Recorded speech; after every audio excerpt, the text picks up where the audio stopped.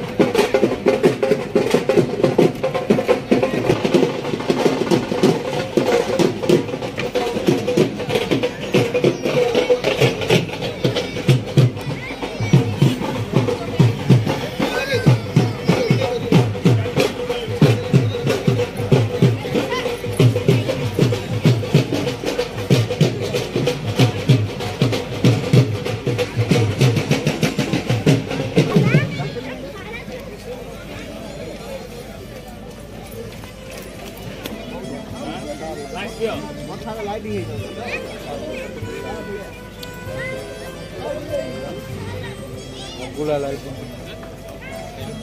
ఇలా అందులో డైరెక్ట్